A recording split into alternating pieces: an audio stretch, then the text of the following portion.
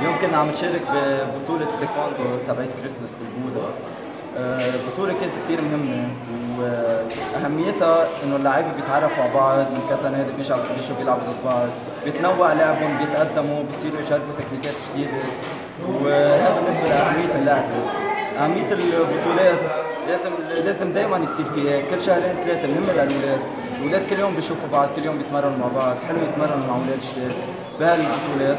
وعلى أمل كل شوي مرة على مرة يعلى المستوى كرمال نوصل على بطولات نطلع لبرا.